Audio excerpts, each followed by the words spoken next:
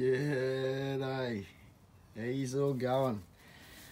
This little fella, sorry if you don't know me, it's Thirsty Rabbit. Uh, today I come home from work and this little fella found a weak spot in my fence. There was one little gap down here where that silver grate is now. It's overlapping a black grate. But uh, there was a little little gap there and he dug his way out. Can't see. And he was out. And I thought ah oh, well that's the end of that. I thought I'd have a quick look around the yard.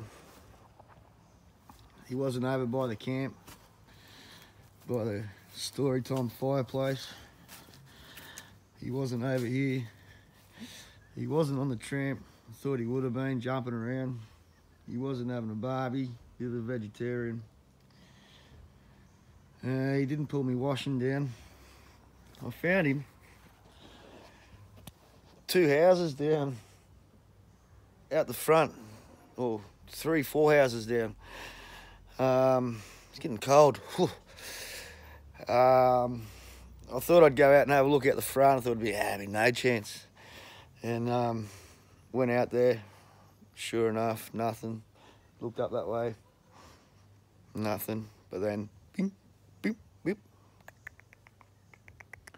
beep, beep, beep. Out he come. Couldn't believe it.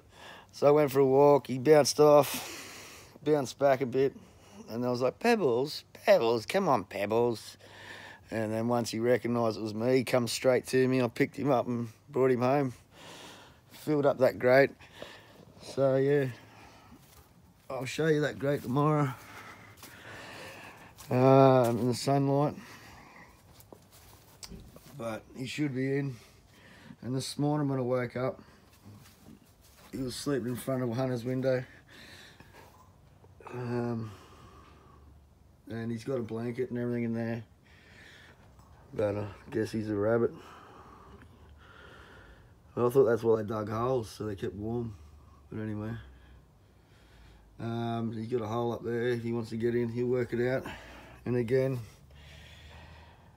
he's fully fully in this time, we hope. I might even do another layer back of grates. I might even go do that now. Double up that layer, so give it give it a good two meters. And I'll go double up the other end as well. And I'll show you all tomorrow. I'll show you both ends and everything, guys. Even though it's a fish channel, it's a thirsty rabbit gentleman. Tanks2U, and that's that's a big big tank there. Mother Nature at its best. All right, um, yeah, so that's it, guys. Go past the corroboree fire. I wish it was on. Anyway, peace.